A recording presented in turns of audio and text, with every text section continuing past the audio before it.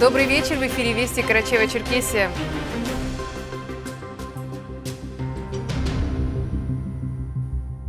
Сегодня день воинской славы России, день разгрома немецких фашистских войск в Сталинградской битве.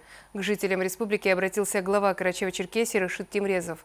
Бои за Сталинград – важный, переломный момент в Великой Отечественной войне, где противостояние двух противоборствующих сил закончилось победой советских войск. 200 героических дней и ночей обороны Сталинграда. За каждый квартал родной земли, за каждый дом вошли в историю как самые кровопролитные и жестокие – Массовый героизм бойцов, защищавших город на Волге, навсегда вписан в историю страны и запечатлен в памяти наших граждан. Об этом свидетельствуют более 200 исторических мест, посвященных этому самоотверженному событию. Почти тысяча наших отважных земляков были участниками Сталинградской битвы, из которых 147 человек награждены медалью за оборону Сталинграда. Вечная память погибшим героям. Слава тем, кто вышел живым из этой смертельной схватки, отметил глава Карачаева-Черкесии. Очередную партию гуманитарной помощи отправила Карачаева-Черкесия на СВО. Партию собирала и организовывала движение «Зов Родины» совместно с боевым братством афганцев. По словам волонтеров, в этот груз вошли предметы первой необходимости, в которых нуждаются участники СВО и госпитали. Мадина Каракетова подробнее. Отправка гуманитарного груза на СВО стала уже традицией для боевого братства афганцев. Они, люди, которые не понаслышке знают, что такое боевые действия, в числе первых стали откликаться на призывы о помощи. Отправки гуманитарных грузов организовывают зачастую совместно с инициативной группой «Зов Родины», которую создали пятеро неравнодушных жителей Карачаева-Черкесии, пятеро матерей. Отправка идет боевое братство афганцев в лице Азаматова Усмана Юсуповича хочу подчеркнуть Кипкеева Расула Беляловича уже на протяжении э, двух лет в апреле 2 числа будет два года. Каждый месяц у нас отправка бывает даже 2-3 отправки КАМАЗами.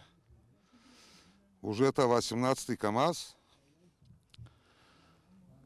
Э, в Ростовскую госпиталь, Донецкая область, Луганская область. Мы и сами возили, доставку делали несколько раз. Вот это за неделю второй КАМАЗ, наша отправка, и через 4 дня еще один КАМАЗ отправляем. В эту партию гуманитарной помощи вошли вода, фанера, утеплители для блиндажей, матрасы, свечи, теплые шапки, носки и перчатки, продукты питания. Волонтеры инициативной группы «Зов Родины» и Боевого братства афганцев решили побаловать военнослужащих, организовав закупку партии сладостей. Шахризада Салпагарова, администратор группы, лично контролирует погрузку и отправку. Она знает, как важно довести все в сохранности, а главное вовремя. Сама не раз за рулем грузового автомобиля ездила на передовую передовую? Не я одна, а мы ездили неоднократно, сами доставляли, сами побывали на СВО, видели все своими глазами. Стараемся по мере сил возможностей делать то, что в наших силах.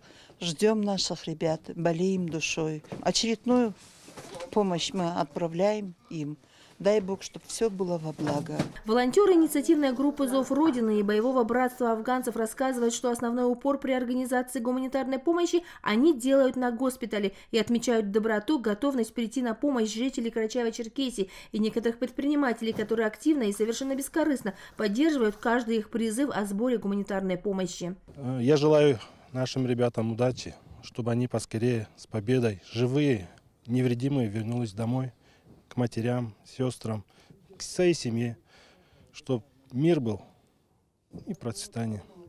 Хочу поблагодарить всех неравнодушных людей, которые нам помогают.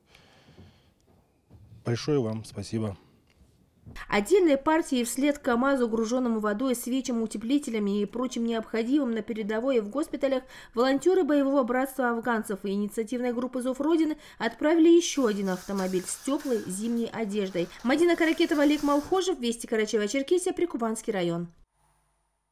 Сейчас прогноз погоды на завтра от синоптиков.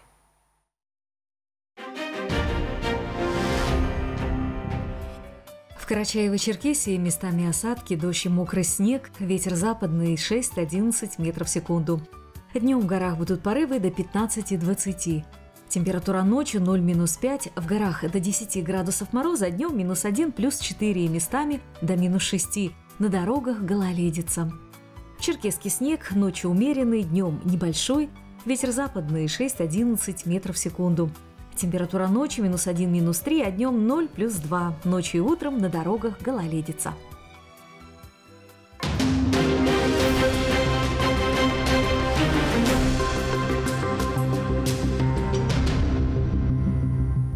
Печальная весть. На 91-м году ушла из жизни Эльвира Петровна Берекина. Жительница блокадного Ленинграда и еще совсем ребенком, пережившая одну из самых трагических страниц истории нашей страны – Глава Карачева-Черкесии Рашид Тимрезов выразил слова соболезнования ее родным и близким.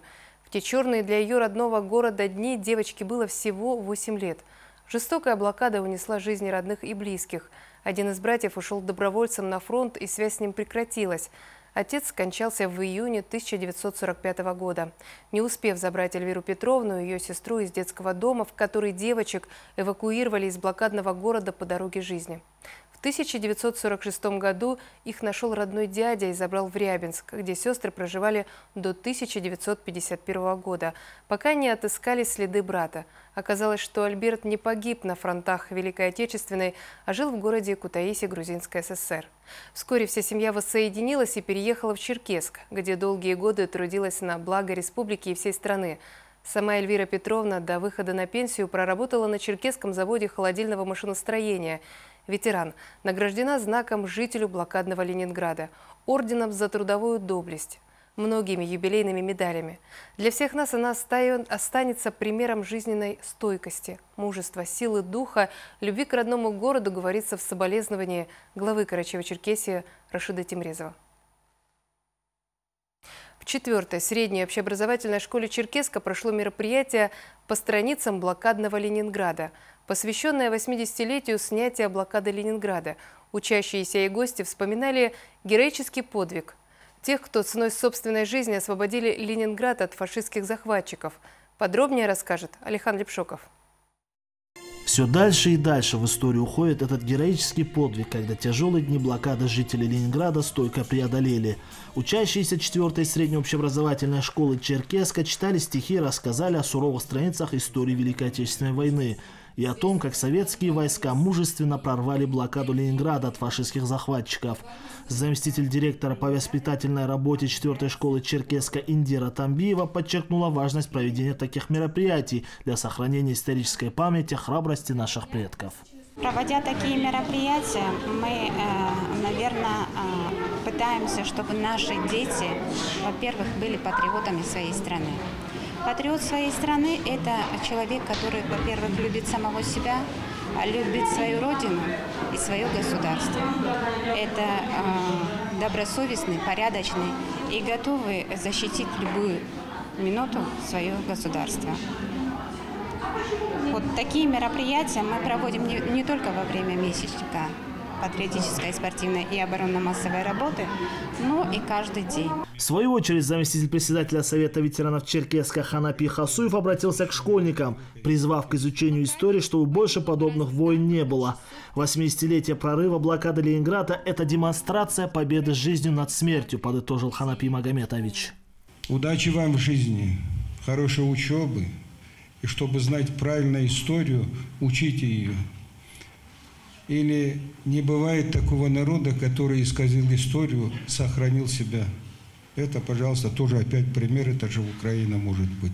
Они, потеряв свою правильную историю, получили вот то, что сегодня ведется.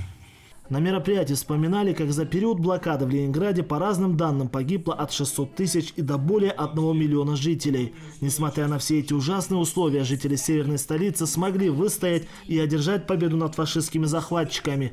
Председатель Совета ветеранов погранвойск Карачаева-Черкесии Сергей Юрьев также подчеркнул, что только благодаря самоотверженной отваге наших предков нам удалось одержать великую победу. Беспрерывным потоком шли умершие люди, везли, вернее, умерших людей полуживые мертвецы. Это сделали все фашисты. Сегодня задают вопрос, что такое фашизм. А вот, пожалуйста, город Ленинград и больше ничего не нужно, не нужно никаких других смотреть. Ни Белоруссию, ни Украину, на которой все это происходило. Это город Ленинград, это и есть фашизм, который принес на нашу, на нашу землю 27 миллионов жизней. Забрал здесь. По завершению мероприятия все присутствующие почтили память погибших в блокаде Ленинграда минутой молчания. Алихалеп Шоков, Белла Чикатуева, Ренат Муков, Вести Карачаева-Черкесия. Жизнь и традиции народов Карачева-Черкесии в фотографиях на базе колледжа культуры и искусств имени Даурова открылась выставка фотографа, стипендиата Министерства культуры России Арсена Алабердова. Проект направлен на приобщение подрастающего поколения к народной культуре и искусству, формирование любви к родине, патриотичности и духовности. Далее расскажет Дарья Тендит. Искусство видеть и умение запечатлевать мгновения – неотъемлемые спутники каждого талантливого фотографа. Торжественная церемония открытия выставки состоялась в главном холле колледжа культуры и искусств имени Аслана Даурова. Первыми увидеть работы именитого фотографа Арсена Алабердова пришли почетные гости и студенты. Ценно то, что у нас есть такой профессионал. Будущему поколению есть на кого равняться, отметил министр культуры республики Зураб Агирбов. Я хочу прежде всего поблагодарить Арсена, потому что э, мы действительно в республике, я считаю, в пропорции, какая у нас маленькая республика, сколько у нас талантливых людей, мы, конечно, очень богаты. И конкретно фотографы – это наше большое богатство. И я думаю, богатство это появляется потому, что фактура богатая, потому что действительно велика и природа прекрасная, и традиции нашего народа, проживающего здесь, и в целом талант во всех сферах, он настолько богат, что, конечно, дает почву для творчества, возможность видеть прекрасное. После торжественной церемонии Родион Унаджев исполнил мелодию XVI века на национальном нагайском инструменте дамбре. Затем присутствующие приступили к изучению работ.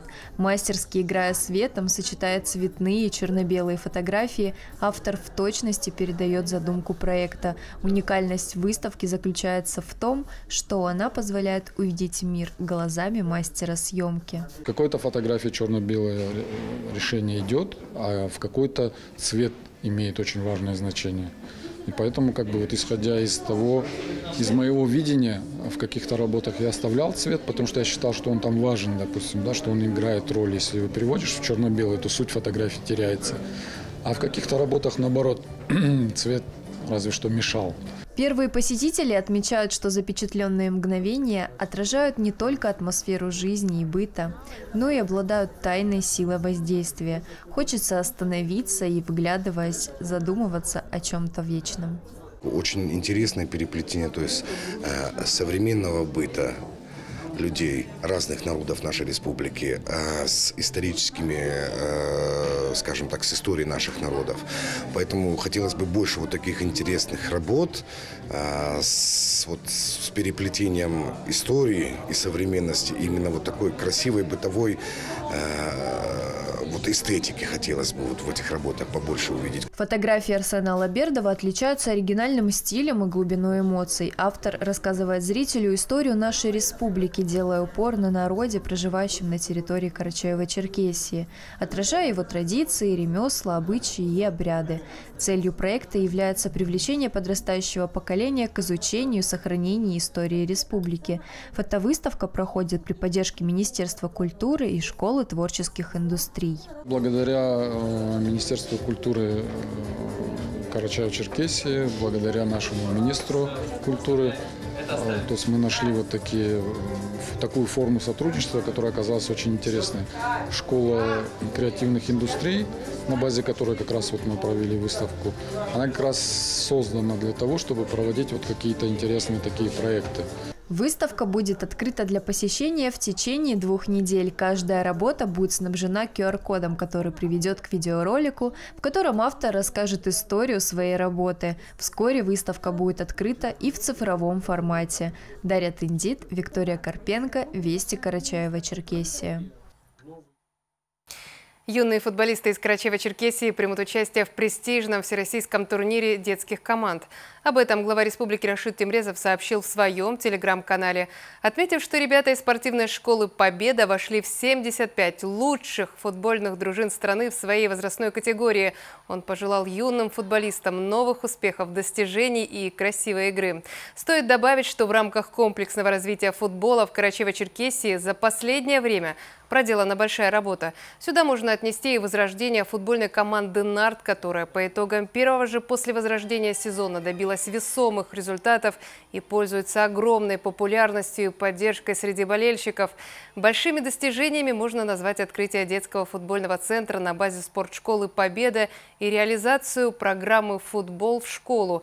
И успехи команд из Карачева-Черкесии являются результатом кропотливой работы по развитию спорта в регионе.